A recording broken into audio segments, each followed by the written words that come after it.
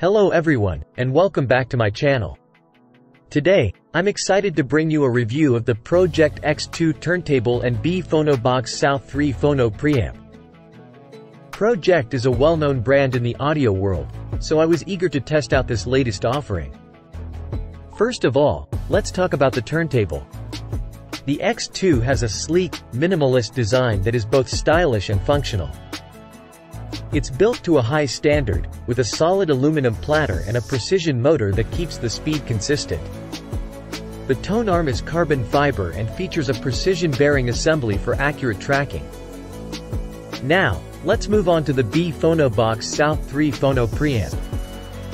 This compact device is designed to amplify the low-level signal from the turntable's cartridge.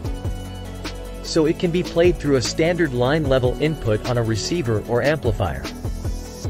It features a range of inputs and controls, including MMC cartridge selection and variable gain adjustment. Together, the X2 turntable and B Phono Box South 3 make for a fantastic listening experience. The turntable is capable of producing a rich, warm sound with excellent detail and dynamics. The B Phono Box South 3 does an excellent job of amplifying the signal with a clean and transparent sound that faithfully reproduces the original recording.